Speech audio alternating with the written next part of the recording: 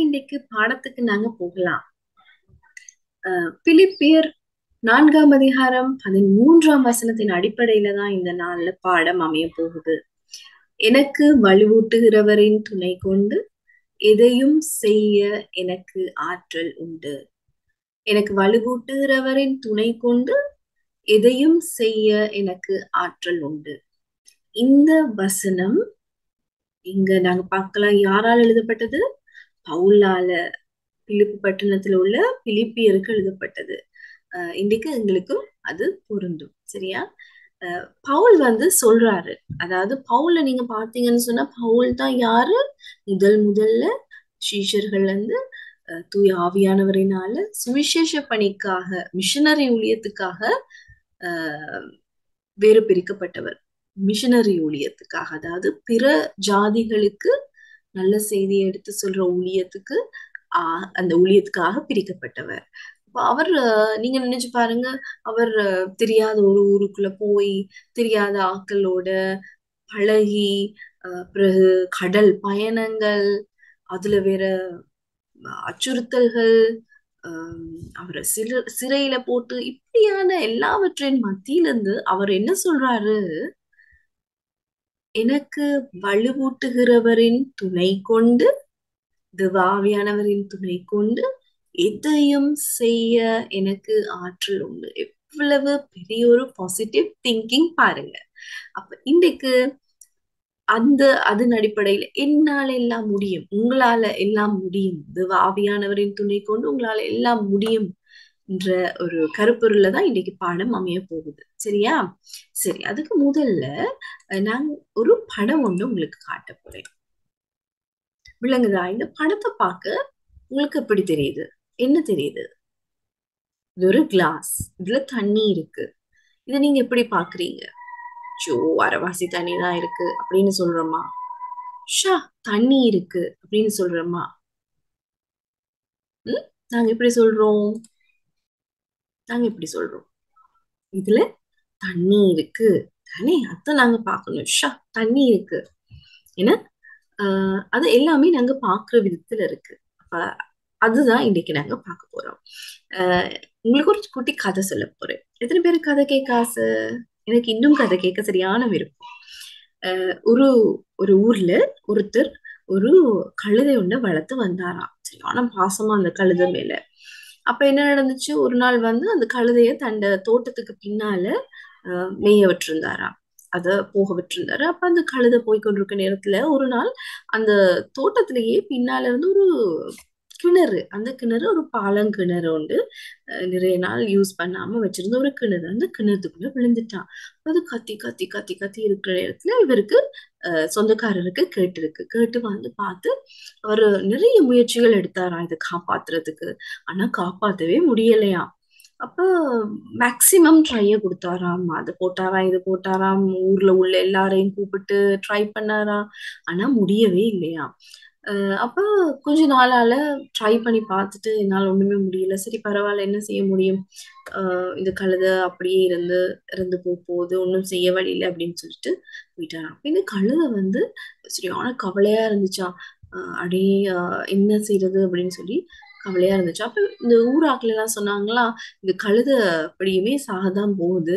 ஆஹ் இது சாகுறதுனால நாங்க குப்பையெல்லாம் சரி போட்டு போட்டு அது பாவம் தானே அது அப்படி அது சாகட்டும் அப்படின்னு சொல்லி டிசைட் பண்ணி என்ன செய்யறாங்களோ ஒவ்வொரு நாளும் ஒவ்வொரு ஊர் மக்களும் சேர்ந்து சேர்ந்து என்ன செய்றாங்கன்னா அதுக்குள்ள குப்பை கொட்ட ஸ்டார்ட் பண்ணாங்களாம் அப்படியான நேரத்துல வந்து இந்த கழுதை கொஞ்ச நாள் வந்து இந்த குப்பை மூட தன்னை மேல விழ விழ நினைச்சா ஐயோ என்ன வேணான்னு நினைச்சிட்டாங்க போல என்னை காப்பாத்த என்னை யோசிக்க மாட்டாங்க போல அப்படின்னு சொல்லிட்டு இந்த குப்பை வருதே குப்பையும் என்ன மேல எல்லாம் கொட்டுறாங்களே நான் என்ன செய்யறது அப்படின்னு யோசிச்சுட்டு இருந்துட்டு நிறைய நாளுக்கு நிறைய நேரத்துக்கு பிறகு டிசைட் பண்ணிச்சான் இல்ல இந்த குப்பை போட்டாலும் நான் எப்படியாவது காப்பாத்தப்படணும் நான் காப்பா என் என்ன காப்பாத்தி கொள்ளணும் அப்படின்னு சொல்லிட்டு அந்த குப்பைக்கு மேல என்ன நடந்துச்சா?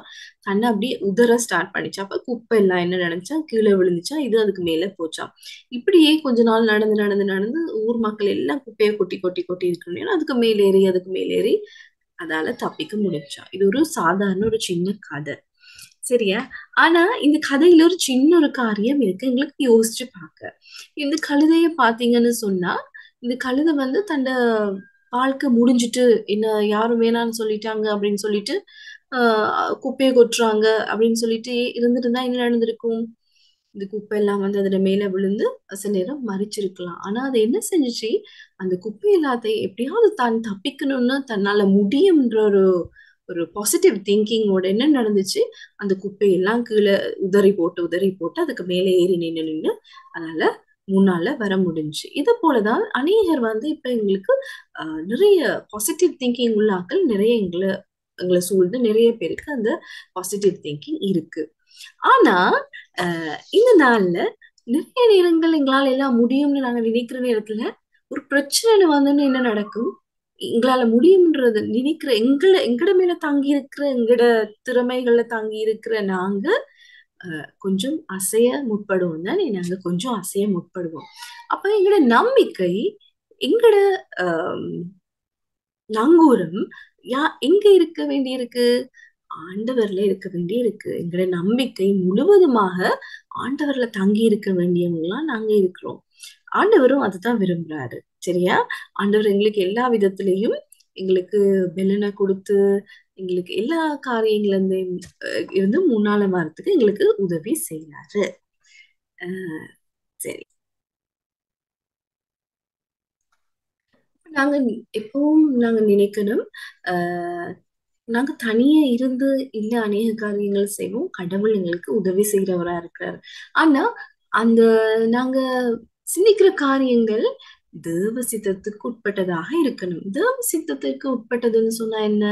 ஆண்டவருக்கு அதுல விருப்பம் இருக்கணும். அதை நாங்க எப்படி தெரிஞ்சு கொள்ளலாம்?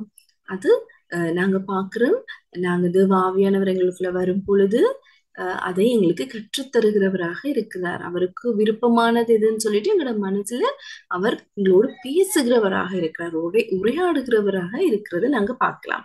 அது மாத்திரமல்ல நாங்க பார்க்கிறோம் நாங்க வந்து ஒவ்வொருத்தரும் வித்தியாச வித்தியாசமான திறமைகள் வித்தியாச வித்தியாசமான அபிலிட்டிஸை நாங்க கொண்டிருக்கிறோம் சரியா? திறமைகளையும் எங்களுக்கு ஒரு சில சிறப்புகள் இருக்கு. நாங்க ஒவ்வொருத்தரும் அப்படித்தான் நாங்க படைக்கப்பட்டிருக்கிறோம். அது மாத்திரம் அதனால நாங்க தெரிஞ்சு கொள்ளணும் எங்களை போலவே இன்னொருத்தர் இருப்பாங்க அப்படின்றது வந்து நாங்க அஹ், அதே மாதிரி நாங்க யோசிக்க கூடாது. இந்த ஐந்து விரலும் எப்படி வித்தியாசமா இருக்கோ அது போல ஒவ்வொருவருக்கு ஒவ்வொருவர் நாங்க வித்தியாசமானவங்க. அதனால நாங்க ஒவ்வொருவரையும் ஏற்றுக்கொள்ள நாங்க தெரிந்து கொண்டிருக்கணும். அது மாத்திரமல்ல நாங்க பாக்குறோம் ஏப்ரல் ரெண்டாம் தேதி என்ன நாள் தெரியுமா? வேர்ல்ட் ஆட்டிசம் அவேர்னஸ் டேன்னு சொல்லி நாங்க சொல்லுவோம். அதாவது மன ரீதியாக மூளை வளர்ச்சி கொஞ்சம் குறைந்தவங்கன்னு சொல்லி நாங்க சொல்லுவோம். அவங்க வளர்ச்சி இருக்கும் ஆனா அவங்களுக்கு அவங்களோட செயற்பாடுகள் கொஞ்சம் வித்தியாசமா இருக்கும். ஆஹ் அப்ப அப்படியானவங்களோட அவேர்னஸ் டே தான் அந்த ஏப்ரல் இரண்டாம் தேதி. இப்ப இந்த நாள்ல கூட நாங்க அவங்கள நினைச்சு பார்க்கணும். அவங்களும் வித்தியாசமானவங்க. ஆனா வந்து நாங்க அவங்களுக்கு எங்களோட அன்பை நாங்க வெளிப்படுத்த வேண்டியவங்களாக இருக்கிறோம். எங்களுடைய கைண்ட்னஸ் அதாவது கருணையும் அவங்கள நாங்க அன்போட ஏற்றுக்கொள்ள வேண்டியவங்களாக நாங்க இருக்கிறோம்.